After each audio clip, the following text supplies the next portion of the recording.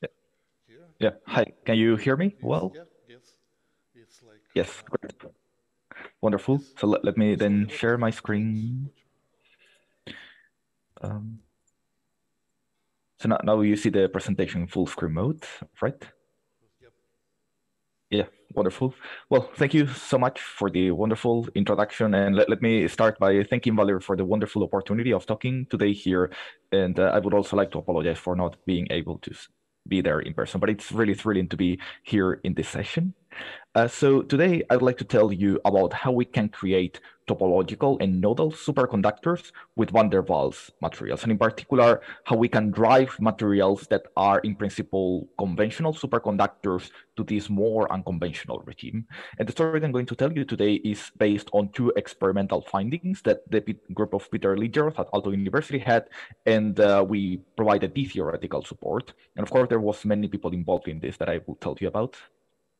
So the background for today's story is uh, the van der Waals world, the world of two-dimensional materials in which, as you well know, we have many different types of orders. So we, have, of course, have some, some metals such as graphene that it's the most well-known one, but we also have insulators, superconductors ferroelectrics, semiconductors ferromagnets, quantum spin Hall insulators, multiferroics, and even quantum spin liquid candidates.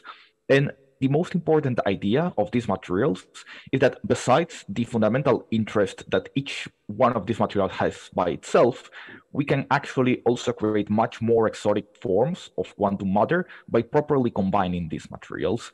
And this idea essentially relies on a relatively simple chemical fact of these materials, which are the weak van der Waals forces which essentially tells us that we can take any two materials from the previous list, put them on top of another and combine any electronic orders that, that we want. And in this way, we can combine conventional superconductors with ferromagnets or with topological insulators or with antiferromagnets and, and so forth. And what is also very important in these materials is that we cannot only combine different electronic orders, but we can also twist the materials one with respect to each other.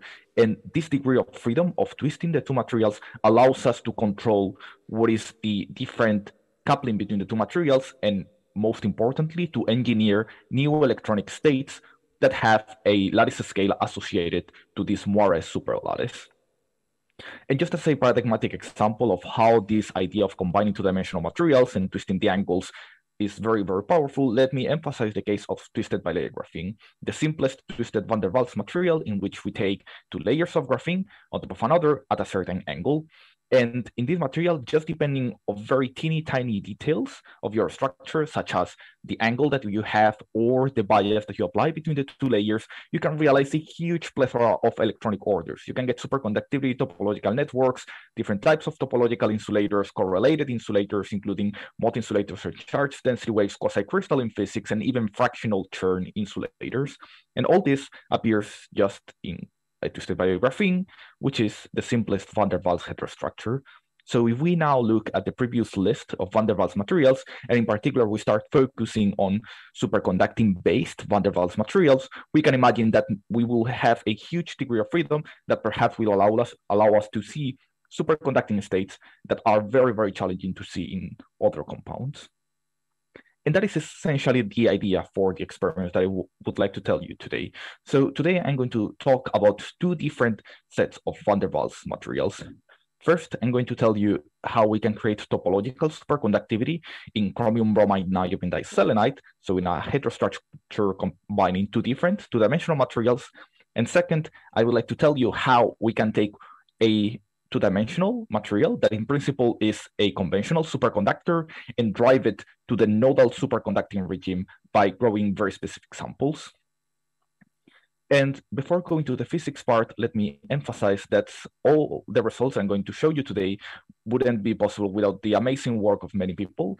And in particular, you see all the people that are responsible for the experimental work that it's, of course, the most important part. In particular, Somesh, Mohammed, Marcus, Lin Hao, Williams, Shavolinu, Mohammed, and Peter Liljeroth, that it's the leader of the atomic scale physics group at Aalto University. And of course, I would like to also thank once and Marian, two PhD students in my group that did the theory supporting these findings. So let me start with the first material. So niobium diselenide on top of chromium bromide. And let me tell you how we can see topological superconductivity, and in particular, a topological superconductivity driven by the Moiré pattern between the two materials. So as a starting point, let me remind you what is the idea of topological superconductivity. So if you think about a superconductor, you essentially have an electronic structure that has a gap that and this gap appears because of the pairing between the different electrons. And we can, of course, have a conventional gapped systems that are topologically trivial, namely that they have a, a gap in the bulk and at the surface. And we can also have topological superconductors that have a gap in the bulk, but that in the surface have gapless excitations, and in particular excitations that are topologically protected. And these excitations are what are usually called Majorana excitations. And of course, topological superconductors are really, really hard to find in nature. So in the last few years, there have been many, many different strategies to engineer topological superconductivity by combining different materials, including atomic chain semiconductors, different iron-based superconductors, heavy fermion superconductors can natively have topological superconductivity. This can uh, they can also be engineered with topological insulators. And the story that I would like to tell you today, which is how they can be engineered with two-dimensional materials. So from the fundamental point of view, if we think about any recipe for engineering artificial topological superconductivity, the only thing that we need to know is the following. If you want to have a topological superconductor, you just have to combine two different ingredients. First, a S-wave superconductivity. This is the conventional superconducting order that can come from any conventional superconductor. And second, helical states. And these helical states can appear for many different reasons. They can come from a topological insulator, they can be artificially engineered by combining spin orbit coupling effects and the exchange couplings or magnetic fields and so forth. What's important is that if you combine these two ingredients on the right footing, you can essentially realize an artificial topological superconductor, essentially because these two ingredients give rise to the so-called Kitaev model.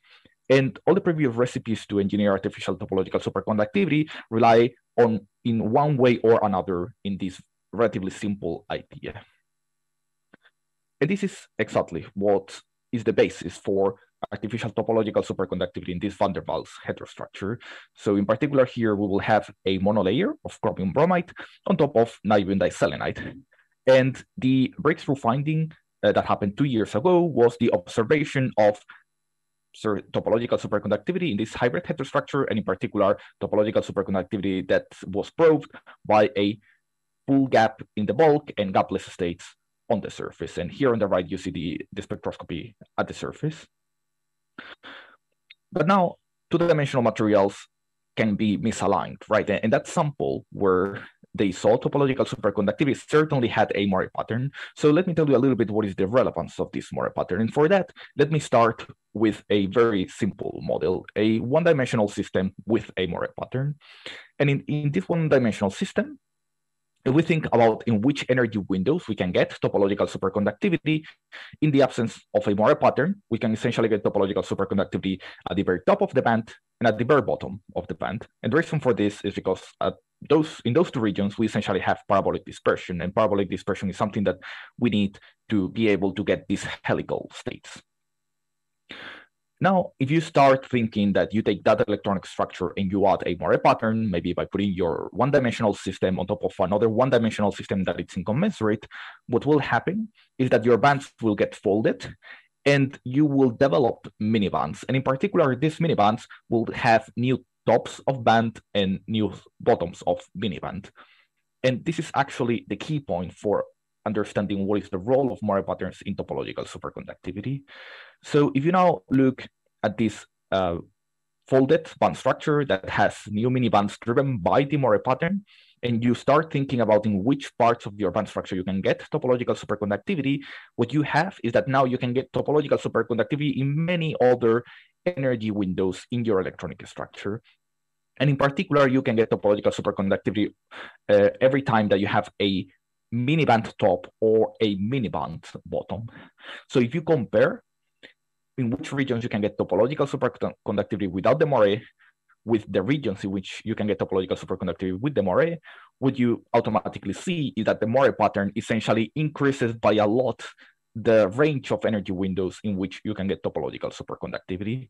So this idea alone tells you that Moiré patterns in two-dimensional materials are very likely to help you to get topological superconductivity because of this very simple idea.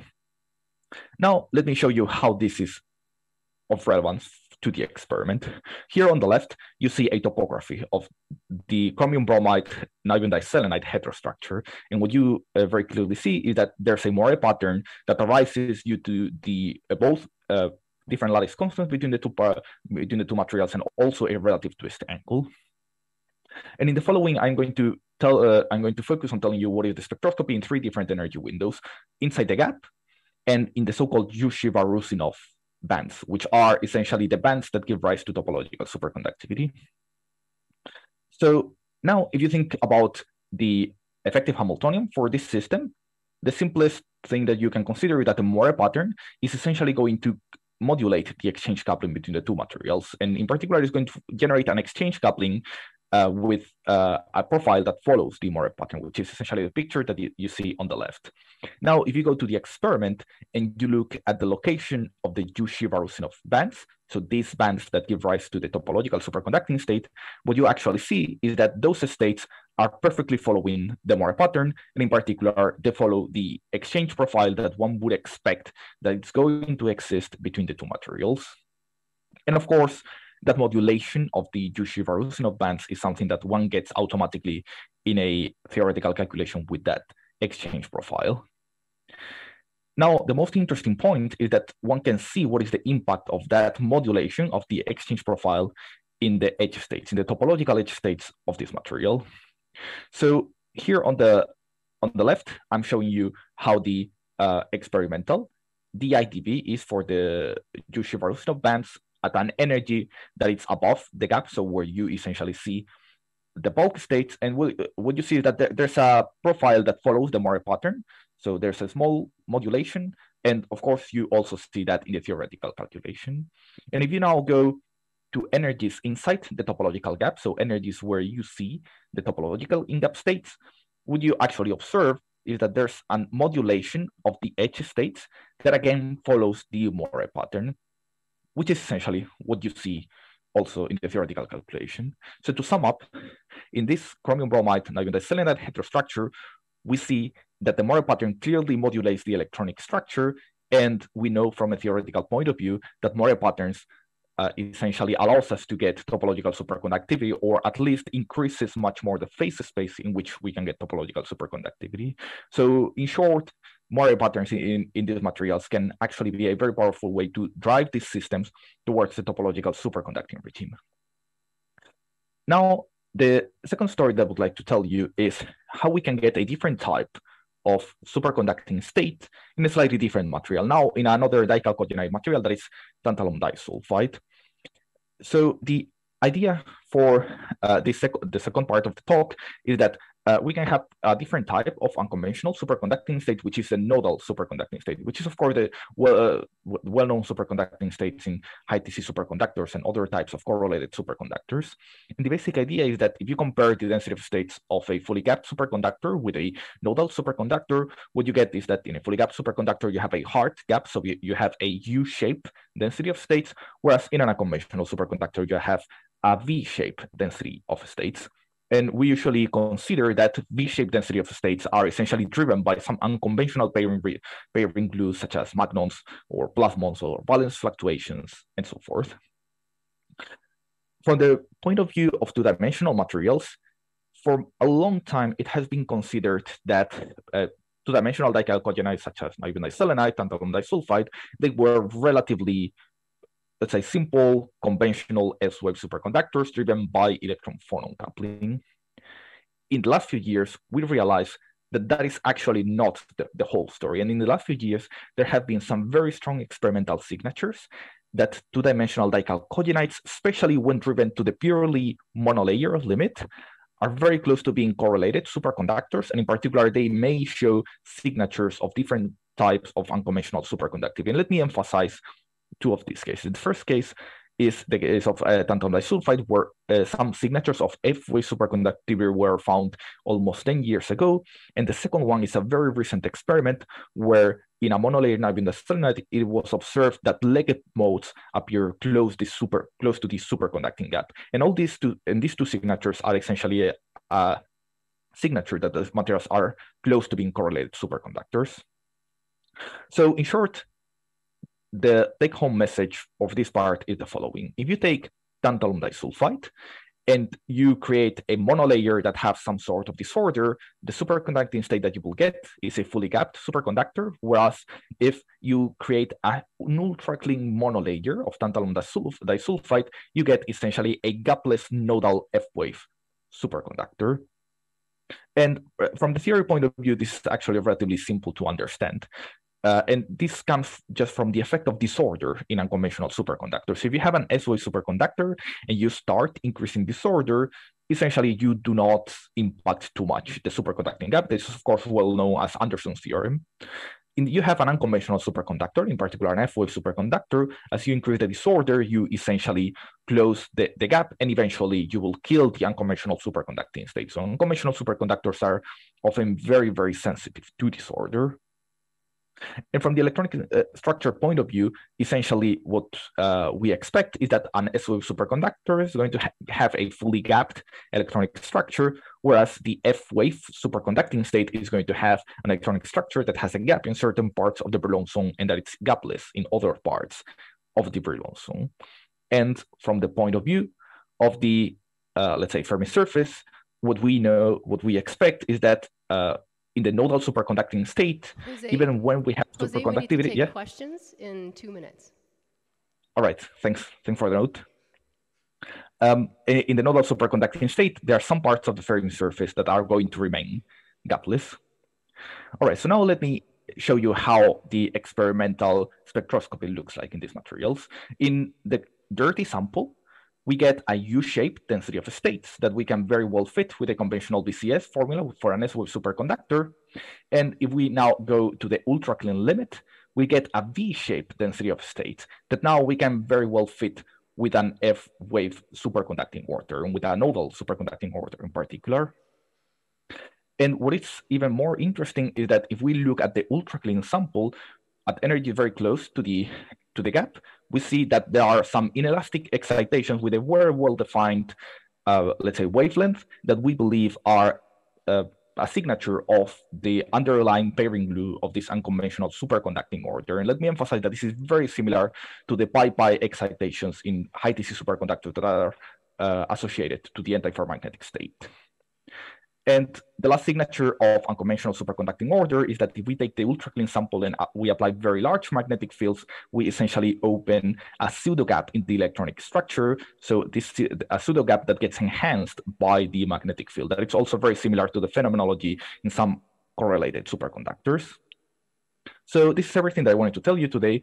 So if I can uh, ask you to remember something, please remember that van der Waals materials offer a platform to realize topological and nodal superconductivity. And uh, with this, I'd like to thank you for your attention and look forward to your questions.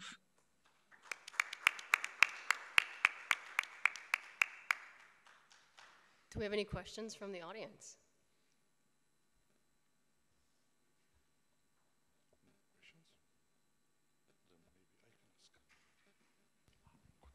Um, perhaps the reason why there is no question is that uh, your results are really new. Uh, and uh, uh, I propose that the shift from um, the single band Hubbard model to manipulating lattice symmetry and lattice geometries of standard superconductor. And this is really a fantastic result. My best wishes for your career. yeah, well, th thank you so much for your uh, very nice feedback.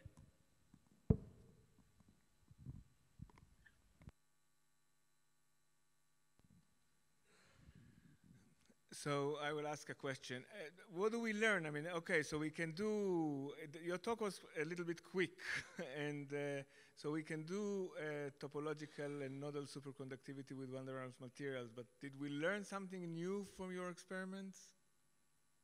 So we what we did learn is that uh, two-dimensional superconductors that were usually considered to be conventional can be driven to the unconventional regime, and in particular that we can use all these knobs of uh, let's say using different magnetic substrates to drive conventional superconductors to unconventional regimes. And of course, what we would what would be very interesting in the future is to try to get to superconducting regimes that we do not see in, in bulk compounds.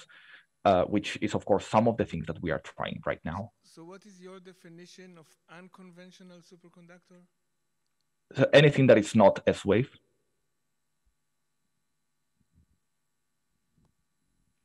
So that, that is, of course, one specific definition. I, uh, there are, of course, others.